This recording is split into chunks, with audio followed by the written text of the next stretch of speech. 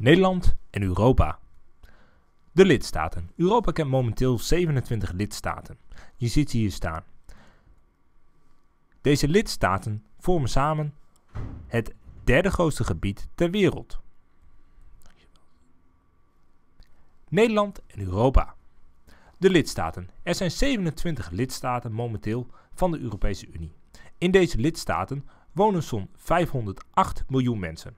Ter vergelijking, dat is dus een flink stuk groter dan de Verenigde Staten, maar weer een heel stuk kleiner dan China of Indië. De geschiedenis van de EU. Het begint in 1952 met de oprichting van de EGKS. En dat wordt steeds verder uitgebreid. Eerst naar de Europese Economische Gemeenschap en uiteindelijk de EU zoals we die nu kennen.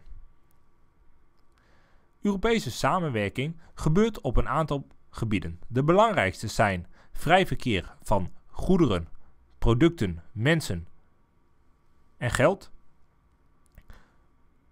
Wat de handel in de EU flink ten goede komt. De EU zorgt ook voor een eerlijke concurrentie.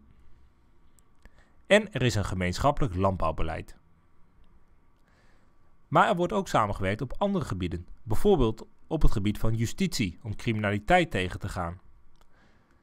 En ook wordt er een migratiebeleid gevoerd. Hoe gaan we om met vluchtelingen uit arme landen die naar de EU gaan? En er is een Europees milieubeleid, want milieuvervuiling stopt natuurlijk niet bij de grens van een land.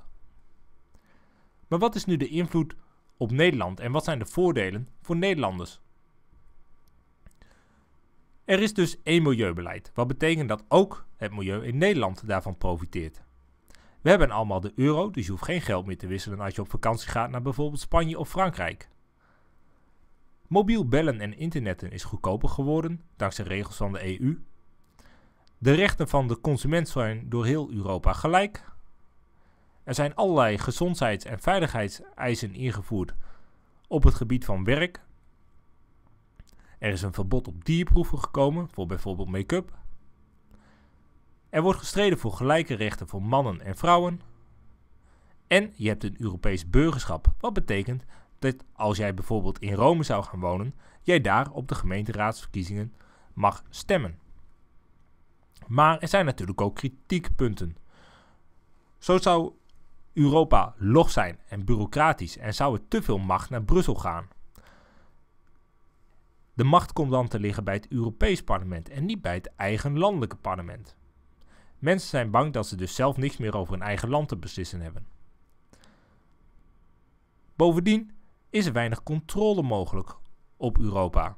Het parlement werkt heel anders. En men is bang voor arbeidsmigratie uit lage landen naar rijke landen.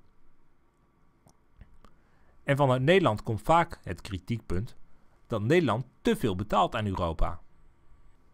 Het bestuur van de EU. De Europese Commissie vormt het dagelijks bestuur van de EU en komt op voor het algemeen belang van Europa. Het Europese, men, het Europees Parlement vertegenwoordigt de stem van het volk.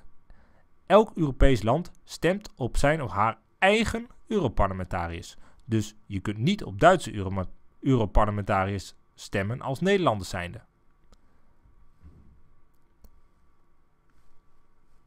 De Raad van Ministers zijn alle ministers van een land bij elkaar. Zij nemen allerlei belangrijke besluiten en bepalen de hoofdlijnen van het Europese beleid. En hetzelfde doen eigenlijk, doet eigenlijk de Europese Raad. Wat alle regeringsleiders zijn van een land. Zij staan onder, leider, onder leiding van een voorzitter. In dit geval Herman van Rompuy. En daarnaast hebben we nog het Europees Hof van Justitie, waarbij je rechtszaken over Europese regels kunt voorleggen. Die samenstelling van het Europees Parlement is ook nogal ingewikkeld. Allerlei soorten partijen uit de verschillende landen werken samen tot, om tot één groot blok te komen. Zo werken alle christelijke partijen samen in de Europese Volkspartij. En dat Europees Parlement is ook veel groter dan het Nederlandse parlement. Momenteel zijn er 766 Europarlementariërs En na de verkiezingen in 2014 zullen dat er 751 zijn. De zetels worden ook verdeeld naar grootte van het land. En daarbij gaat het dus om het aantal inwoners. Vandaar dat Duitsland het meeste aantal zetels heeft met 96 en dat Nederland er 25 heeft.